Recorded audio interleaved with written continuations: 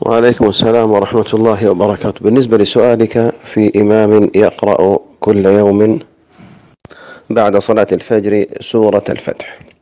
فأرجو أن تسمعه جوابي هذا بعد السلام عليه والدعاء له بظهر الغيب بالتوفيق والسداد. كما أخبر النبي صلى الله عليه وآله وصحبه وسلم لما قال الإمام ضامن والمؤذن مؤتمن. اللهم أرشد الأئمة واغفر للمؤذنين. رواه أبو داود. ومعنى ضامن يعني هو ضامن لصلاة من خلفه وراع لها. ومؤتمن عن المؤذن على أوقات المسلمين. اللهم أرشد الأئمة للصواب والسنة واغفر للمؤذنين ما يكون منهم من الخطأ. وعليه فنقول له رعاه الله لم يصح في سورة الفتح حديث لفضلها. والأحاديث التي وردت في الفضل هي تسعة أحاديث أو تسعة سور.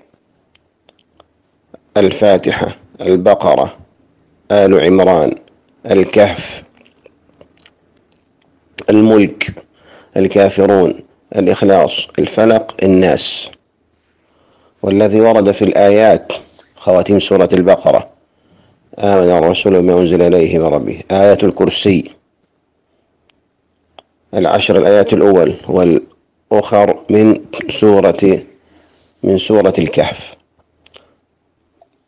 وإن أهل العلم قد قرروا كما نقل ذلك ابن رجب الحنبلي في جامع العلوم والحكم في شرح خمسين حديثا من جوامع الكلم لما تكلم رحمه الله عن حديث عائشة من أحدث في أمرنا هذا ما ليس منه فهو رد رواه مسلم. وفي رواية من عمل عملا ليس عليه أمرنا فهو رد.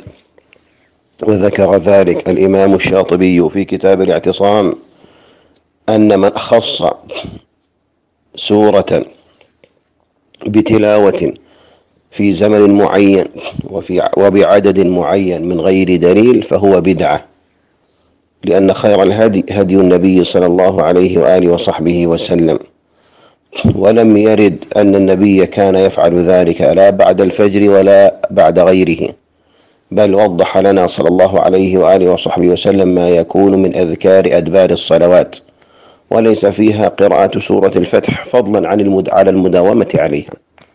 فهذا كله من البدع.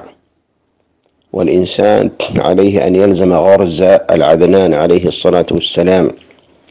قال الله عز وجل في آية المحنة كما قال الحسن البصري الآية 31 سورة آل عمران قل إن كنتم تحبون الله فاتبعوني يحببكم الله ويغفر لكم ذنوبكم والله غفور رحيم قل أطيعوا الله والرسول فإن تولوا فإن الله لا يحب الكافرين وروى أبو خيثمة النسائي زهير بن حرب في كتاب العلم عن ابن مسعود إن استطعت ألا تحك رأسك إلا بدليل فافعل فنقول لهذا الإمام المبارك أن ينصرف وأن يتوقف عن هذا الفعل وأن يستغفر الله عز وجل فيما وقع منه.